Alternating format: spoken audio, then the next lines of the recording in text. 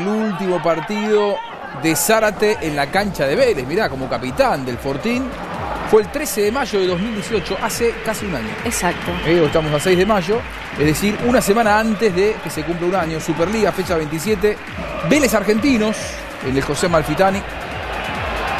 Y el gol de Vélez a los 22 minutos que ponía en ventaja al equipo de Liniers, precisamente lo hizo el capitán Mauro Zárate. Exquisita definición en el área. En pleno idilio con la gente de Vélez. No le quedaba mucho tiempo más. ¿eh? No le quedaba mucho tiempo más porque en la siguiente pretemporada, cuando finalizó el semestre, terminó yendo a Boca, lo cual le generó, ¿te acordás en aquel momento? Casi un escándalo mediático con los propios hermanos de Sí. Zárate, enojadísimos con él por su Y con decisión los, referentes de, de Vélez de ese momento. Muy bien, y vamos a hablar ahora del rival justamente de Vélez. el